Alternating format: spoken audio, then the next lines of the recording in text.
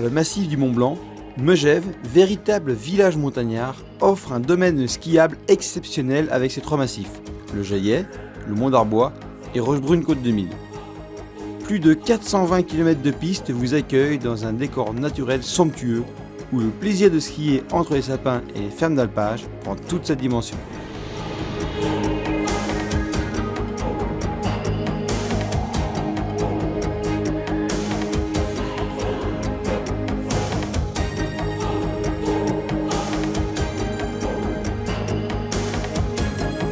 Alors ici nous sommes sur le massif du Jaillet qui est desservi par un TKB 8 places euh, qui est à 2 minutes du centre de Megève et je vous propose de découvrir trois belles pistes sur ce massif.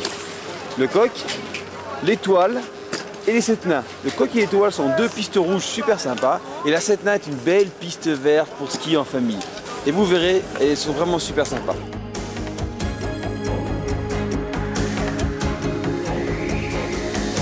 Alors nous sommes ici au sommet du Christomet, sur le massif du Jaillet, et d'ici on a un super panorama sur toute la chaîne des Aravis. Et en même temps on a un très beau aussi aperçu de tout le domaine qui va être relié, le domaine de la Giette, qui va être relié bientôt et qui fera un super euh, domaine skiable. Alors ce que je vous propose maintenant, c'est de faire une piste qui s'appelle la Coque, une piste rouge, qui est super vallonnée, qui est très sympa, qui est variée, qui est très sauvage. Alors je vous propose de découvrir ensemble. Allez venez.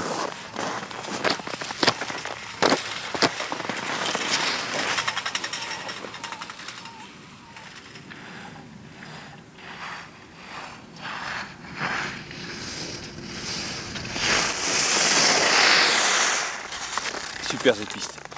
Alors un petit conseil, moi je vous conseille de venir ici tôt le matin, dès l'ouverture des pistes, parce que vous avez peut-être la chance de croiser un petit chamois qui se balade au bord de la piste, et surtout pour admirer ce super panorama sur le massif du Mont Blanc, qui est vraiment génial. Alors venez tôt le matin et vous serez tranquille ici.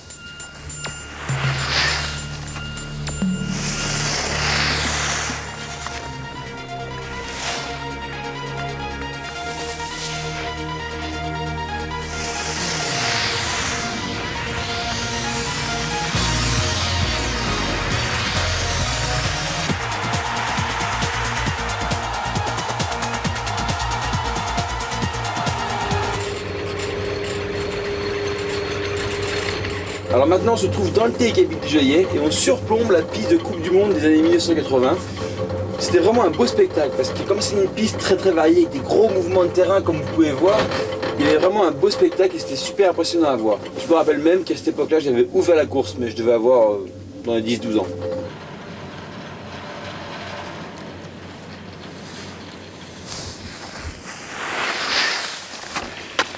Alors maintenant on est sur la piste rouge de l'étoile.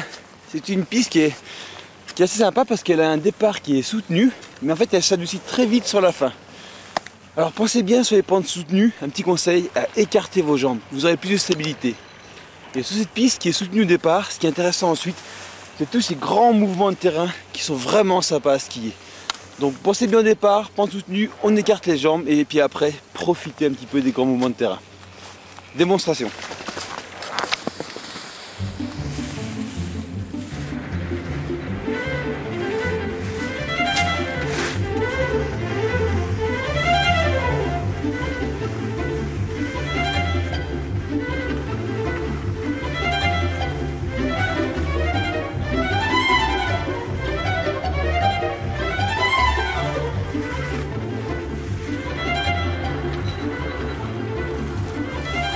Pour la piste des étoiles. Alors j'espère que vous avez aimé cette piste et surtout que vous avez apprécié skier sur une piste de Coupe du Monde. Allez, on déchausse et on continue.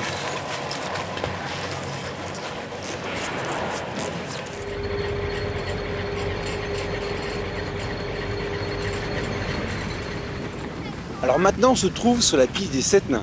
C'est une longue piste verte, tranquille. C'est vraiment la piste familiale par excellence. Avec celle-là, vous pouvez venir avec tout le monde. Le grand-père, la grand-mère les petits-enfants. Et tout le monde peut skier tranquillement. C'est vraiment une piste super sympa à faire en famille. Allez, je vous invite à me suivre tranquillement, en profitant du paysage.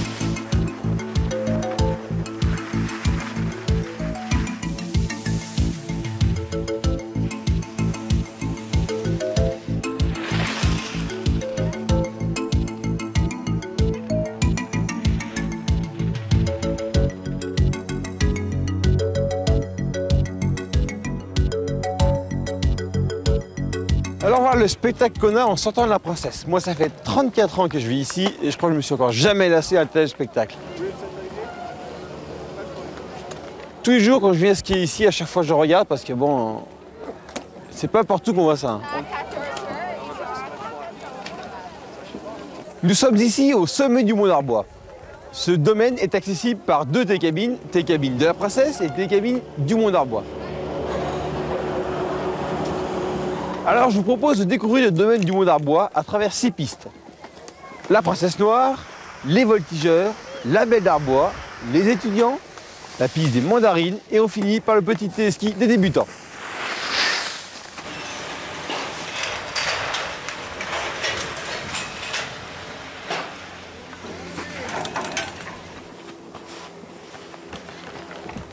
Alors après un repos bien mérité au sommet du Mont d'Arbois, je vous amène découvrir une piste qui finalement n'est pas très connue, c'est la Belle d'Arbois.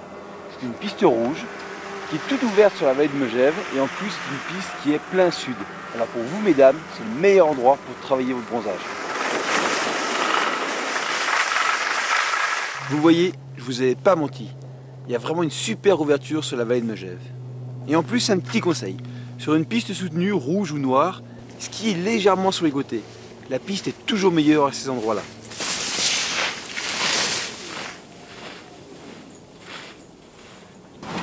La Belle d'Arbois, je vous propose maintenant de prendre le télécabine qui nous amène directement au sommet des pistes du Mont d'Arbois pour découvrir ensemble d'autres pistes.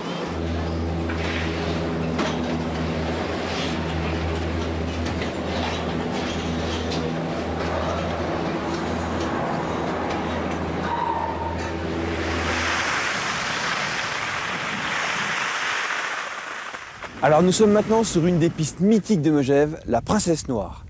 C'est une piste où généralement les débutants, après quelques leçons avec l'école de ski, viennent ici pour évaluer leur niveau et voir s'ils sont capables de skier sur les pistes noires.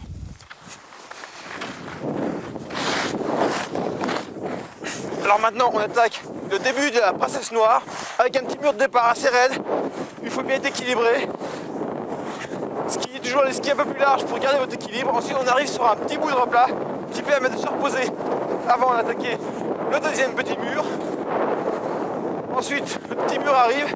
Donc il y a toujours un petit peu de glace ou c'est un petit peu gelé. Donc euh, préparez-vous bien à ce mur. Et là, attaquez bien toujours équilibré. Et des petits virages pour contrôler votre vitesse. Et ensuite, vous prenez de la vitesse et vous pouvez enchaîner sur la partie un peu plus plate de la deuxième partie de la princesse.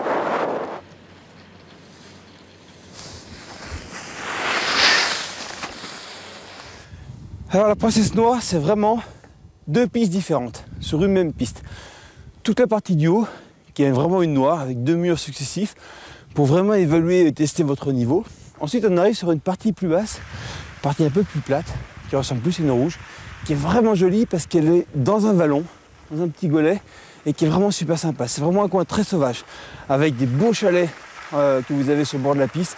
C'est vraiment un coin que les gens apprécient du fait que c'est vraiment un coin très très sauvage.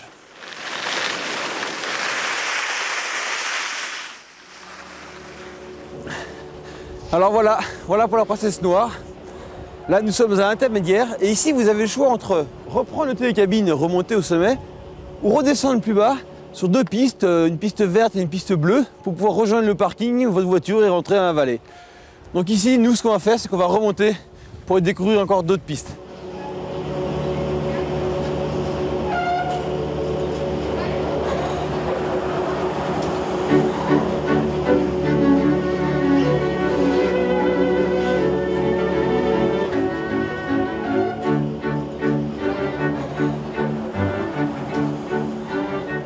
Alors maintenant, on se trouve sur la piste des mandarines, qui est vraiment la piste par excellence euh, pour les débutants sur le plateau du Mont d'Arbois. Et en plus, c'est sûrement la piste la plus connue sur le domaine de Megève. Alors la piste des mandarines, c'est passage obligé pour les débutants. Une fois qu'ils ont fini de skier sur le bas, c'est-à-dire souhaiter les skis du bas, ils montent ici sur les mandarines.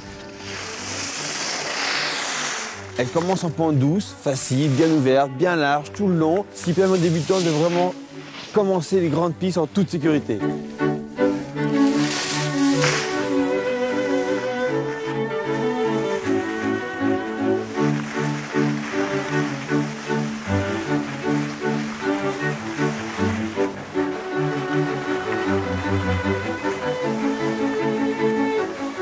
Plus, sur le bal, c'est fini par un très très long plat. C'est vraiment la joie des petits enfants qui adorent prendre ça tout chousse.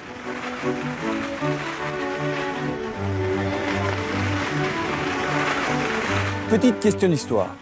Savez-vous pourquoi cette piste s'appelle les mandarines? Eh bien tout simplement parce qu'au début, quand le ski est apparu sur le plateau du Mont d'Arbois, sur le massif du Mont d'Arbois, quand il n'y avait pas encore les infrastructures actuelles, les skis étaient des sièges, les gens partaient en chenillette sur la piste des mandarines et montaient jusqu'au sommet. Mais avant de partir, Madame Noémie de Rothschild leur donnait des petites mandarines pour se restaurer. Et quand ils mangeaient leurs mandarines tous au même endroit et qu'ils mettaient leur pelure par terre, au printemps, on retrouvait plein de peu de mandarines partout. C'est pour ça que les mandarines se sont appelées les mandarines.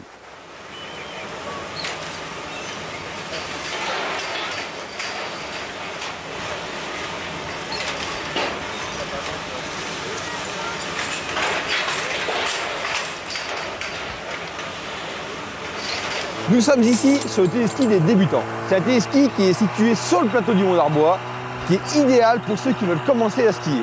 Après une ou deux heures de leçon avec un moniteur, ils viennent ici et ils peuvent s'essayer sur un téléski un peu plus long. La piste est plate, légèrement bosselée, idéal pour commencer. Et en plus, pour les enfants, j'ai un petit secret pour vous, mais je vous le dirai après.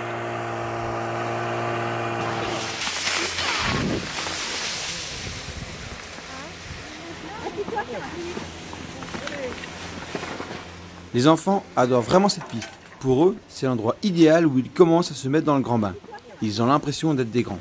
Et surtout, cette piste est légèrement mouvementée où ils peuvent commencer à faire des petits sauts. Alors sur cette piste, les enfants, juste un truc hein, entre vous et moi.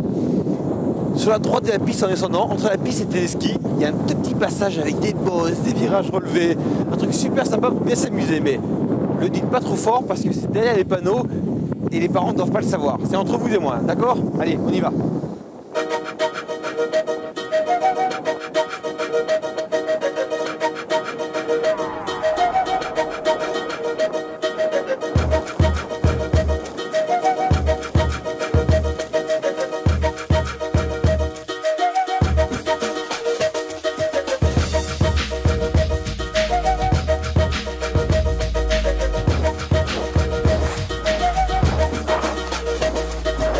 Sommes maintenant sur la piste des étudiants. C'est une rouge qui est très sympa pour les bons skieurs, avec comme vous pouvez le voir derrière moi, un mur de départ sympa, et toute la piste est faite de mouvements de terrain sur une pente soutenue.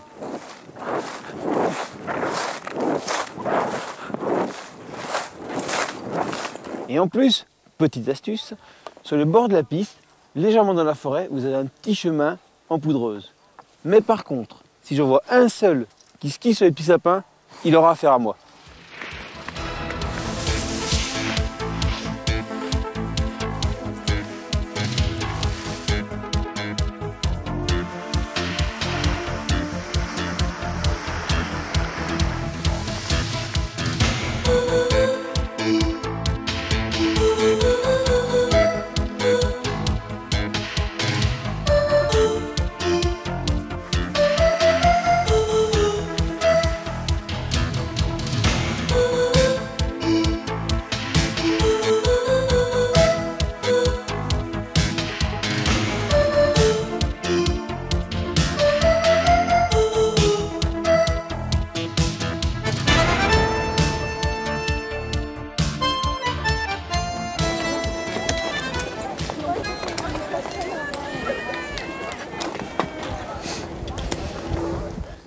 Ça c'est aussi un super endroit pour les décollages de parapente.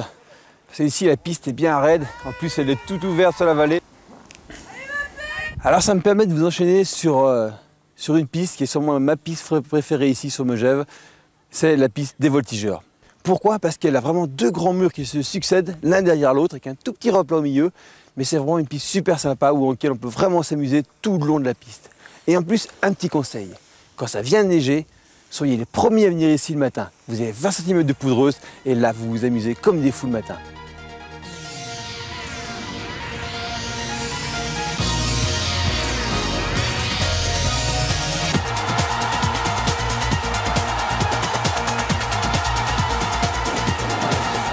Alors, rappelez-vous, sur les pentes qui sont assez raides, quand il y a un petit peu de bosse, le plus important c'est l'équilibration.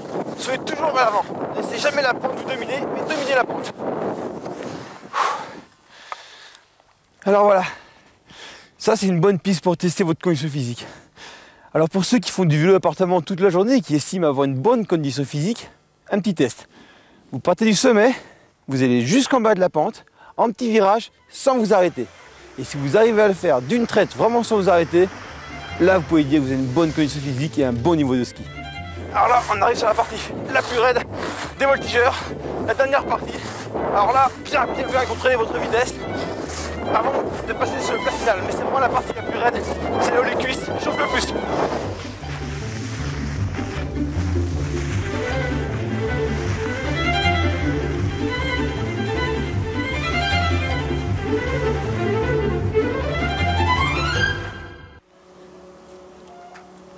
Excusez-moi, mais Megève, c'est aussi ça. Profiter du lieu, du site, profiter des sports d'hiver, relax. Alors ici, on est sur le massif de Rochebrune Côte des Mille et nous allons visiter 8 pistes. À la Côte des Mille, nous ferons la marmotte et le stade de descente. Ensuite, sur le massif de Rochebrune, nous ferons les Lanchettes, Jardin, Mouillette, le Super Megève et pour finir, la plus belle et la plus légendaire de toutes, la piste Émile Allais.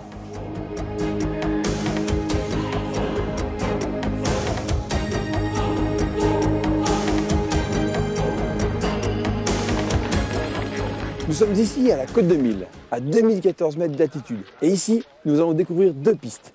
La piste des marmottes et surtout le stade permanent de compétition Henri Grosset. C'est un stade qui accueille les compétitions internationales de tout niveau. Coupe du Monde, Coupe d'Europe, Championnat de France. Je vous propose de la vivre de l'intérieur, mais pour ça, mettez votre casque, mettez bien vos lunettes, prêt pour la séquence émotion.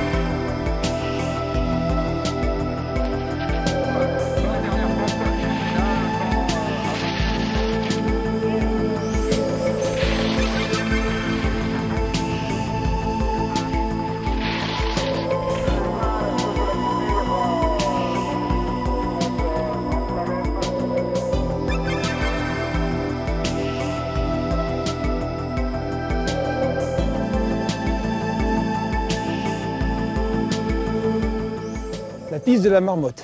C'est une piste qui se situe au sommet de la côte 2000, au sommet du deuxième télésiège, à 2014 mètres d'altitude. Et elle part le long de la falaise, dans un petit couloir, super sympa, très calme. Et on a vraiment l'impression d'être à côté des montagnes, on peut presque les toucher.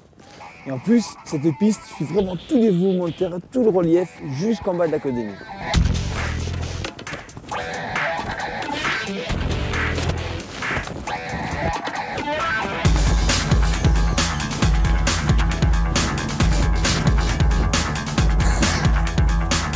À la fin de la piste des Marmottes, vous rejoignez la piste rouge du chalet qui vous permet de rester toujours à flanc de montagne. Et tout en bas, à la fin de la piste des chalets, vous arrivez sur le plateau de la côte de Mille, d'où partent les deux télésièges qui distribuent toutes les pistes.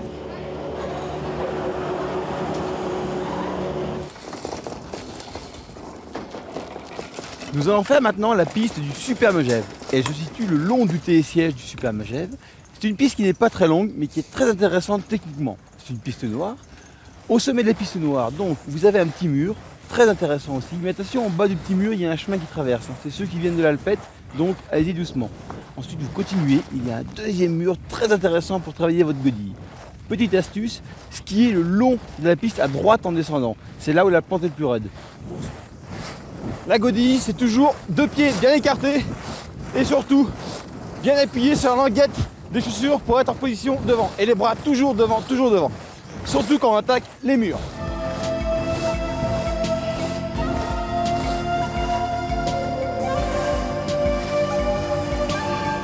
pour ceux qui ne veulent pas le faire une pente très raide sur une noire, ils skient à gauche, c'est plus tranquille pour eux.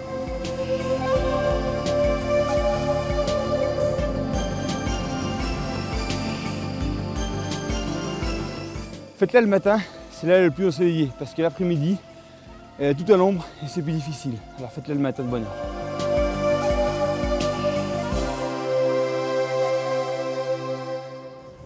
Nous sommes maintenant sur les Lanchettes. C'est une piste rouge qui se situe entre le massif de Rochebrune et le massif de la Côte 2000. C'est une très très longue piste. Rouge, je vous le dis, mais plutôt rouge clair, hein, très clair. Donc ne vous affolez pas en voyant la couleur rouge. Elle n'est pas réellement rouge, elle est un peu plus, euh, elle tend plutôt vers le bleu. Mais c'est une piste qui est longue, qui est ouverte, qui est vallonnée, qui est très bien aussi pour le ski famille, pour, euh, pour les gens qui veulent s'initier sur les pistes rouges. Allez, on y va et on pense au plaisir sur ces pistes rouges. Et au milieu de la piste, je vous donnerai un petit conseil.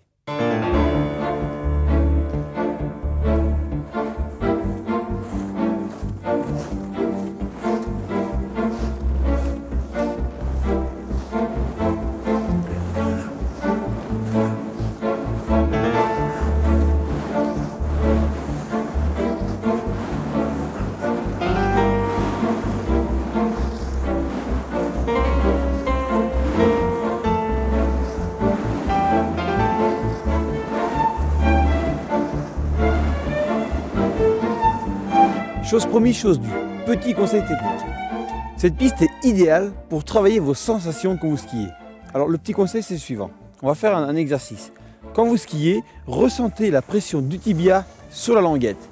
Si vous arrivez à sentir ça, ça veut dire que vous êtes positionné sur l'avant et c'est la meilleure position qu'on peut avoir en ski. Et là, vous avez une bonne base pour attaquer ensuite les noirs. Donc, faites comme moi, essayez cet exercice en appuyant bien sur vos languettes. Allez, on y va.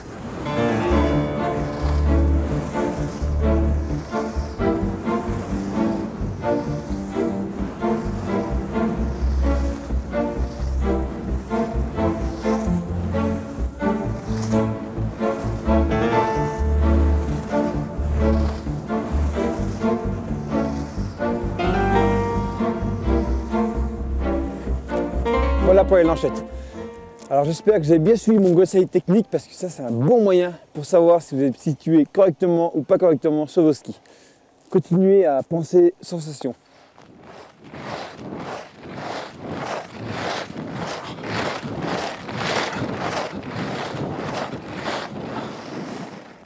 Les mouillettes, c'est vraiment une de mes pistes préférées. Pourquoi? Parce qu'elle est vraiment naturelle, elle suit tout le relief naturel de la pente et en plus elle serpente entre les arbres. C'est vraiment un régal cette piste. C'est vraiment très sauvage. Allez, je m'arrête pas, je continue. hein.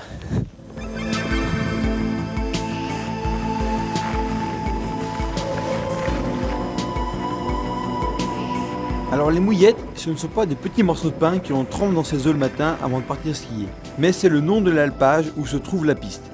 Et ce nom a été donné par les anciens car ce sont des prairies humides, appelées ici mouilles ou mouillettes, petites mouilles.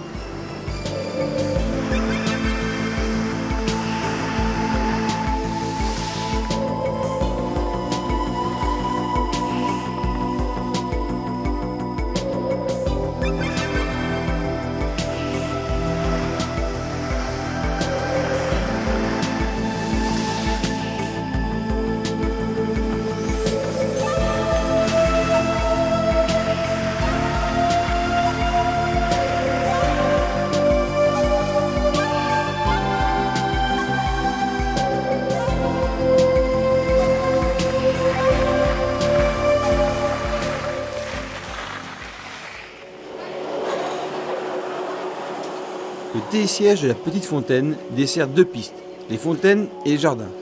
Peu des skieurs utilisent la piste des jardins dans toute sa longueur, alors que le bas est la partie la plus intéressante. C'est un régal pour les skieurs qui aiment la vitesse.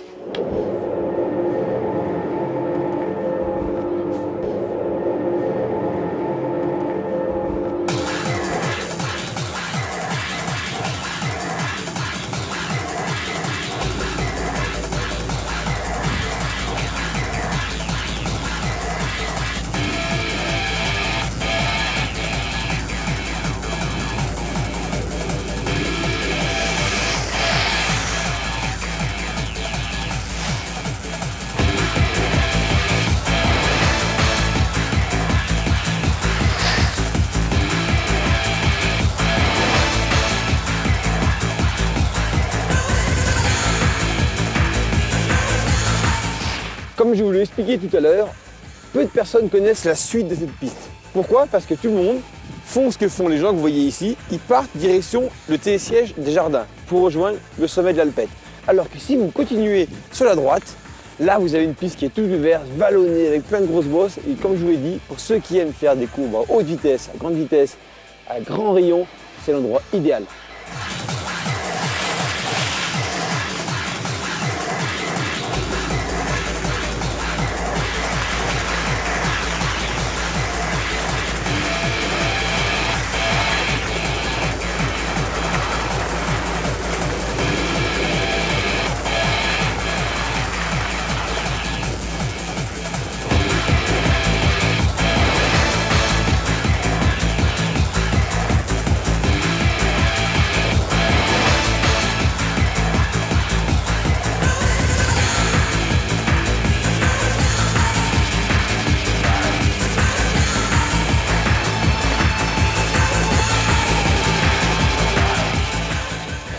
C'est une piste qui est sympa, où on peut vraiment s'amuser en grande courbe. Alors voilà pour la piste de jardin. Pour ceux qui ne connaissaient pas le bas, maintenant c'est fait. Et en plus, après que vous êtes là, vous remontez le télésiège des fontaines, qui est un télésiège très très rapide, et vous pouvez faire l'autre piste qui va derrière, c'est-à-dire faire la piste des fontaines.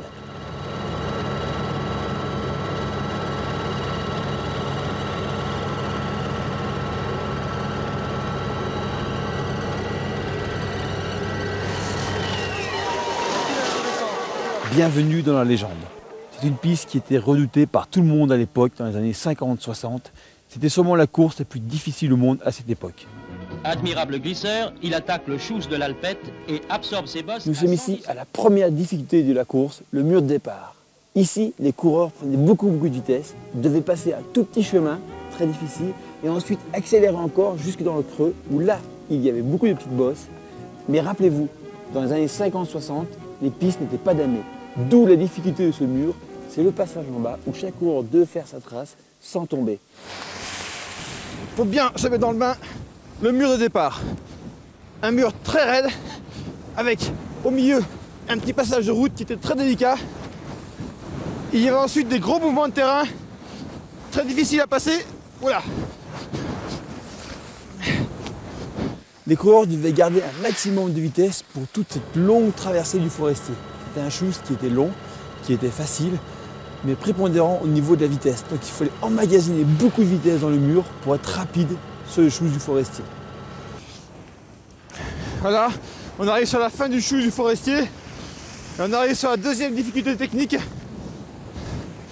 l'entrée en forêt. Coureur arrive ici très vite et il plongeait dans un mur. La grosse difficulté aussi de cet endroit-là, c'était la glace. Chemin très étroit.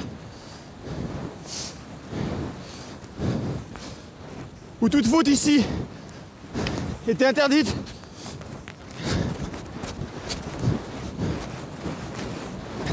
Après le passage dans la forêt, on arrivait sur la troisième difficulté. Le passage du S. Ils arrivent ici, premier virage du S, suivi du deuxième virage. Passage très très étroit, également très difficile. Cette piste, très technique et très dangereuse, ne permettait aucune erreur.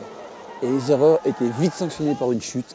Et surtout, c'est ça qui arrêtait les coureurs. Ce sont les barrières d'époque, des barrières en châtaignier, qui arrêtaient les coureurs lors d'une chute. Moi, j'aurais pas aimé taper là-dedans. Le mur de Bornée, la partie la plus effrayante de la course. 55% de pente, 250 mètres de dénivelé. Cette portion était vraiment, vraiment très difficile et effrayait tout le monde. Mon père me racontait que ceux qui arrivaient ici avaient le choix de différentes trajectoires. Les gros cœurs, ceux qui avaient vraiment envie d'aller vite et prendre des risques, passaient sur une trajectoire directe mais très très bossée. Mais ce mur de Bornée a vraiment fait la légende de la piste. Le mur de Bornée. Et là, on prend à gauche et on attaque le mur de Bornée. Et là, ils arrivaient tout droit. Hop. Ici, c'est très raide. Et c'est ce qui conditionnait la vitesse pour la fin. Les gros cœurs prenaient ici beaucoup de risques. Ils savaient que la piste était sélective et que c'est là où c'est gagné la course. Mon père, Adrien Duvillard, a souvent couru sur cette piste légendaire. où il a remporté l'épreuve de descente en 1960. Il évoque pour nous aujourd'hui la dernière difficulté de cette course, le passage de la route des Avenières. On se trouve ici sur la dernière partie de la piste à l'est, euh, le saut de la route des Avenières, qui était une des dernières difficultés du parcours. Bon, la route est beaucoup plus large maintenant, bien sûr, euh, mais quand même, c'était euh, un saut difficile avec des bosses derrière qui étaient très très marquées, beaucoup d'ondulations, et ça allait jusqu'au petit village en bas de Cassio. Arrêté en 1972 pour des raisons de sécurité, laissé à l'abandon pendant plus de 30 ans, la piste a retrouvé une nouvelle vie en 2001. Itinéraire non balisé, unique en France, c'est un musée à ciel ouvert de l'histoire du ski où vous pouvez skier dans les traces des champions légendaires.